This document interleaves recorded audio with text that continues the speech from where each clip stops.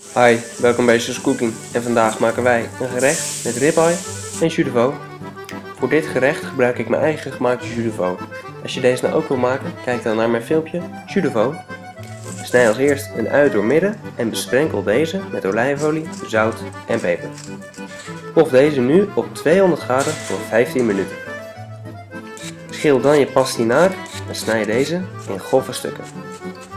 Kook dit dan gaar in gezouten water. Schil nu je aardappels en snij deze grof.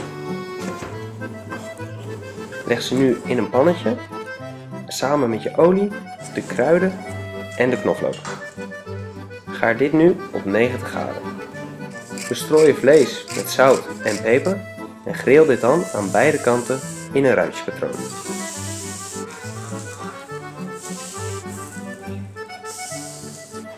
Laat hem hierna rusten op 60 graden voor zo'n 20 minuten.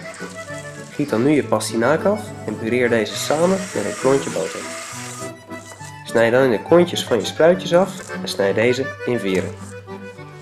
Bak ze hierna aan, samen met zout, peper en een klontje boter. Blus ze dan af met wat water en gaar ze hierin. Snij dan je vlees.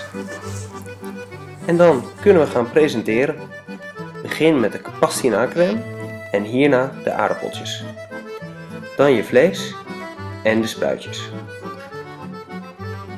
Leg nu je gepofte ui neer en giet er goed veel jus over. En als laatst nog wat tuinkers.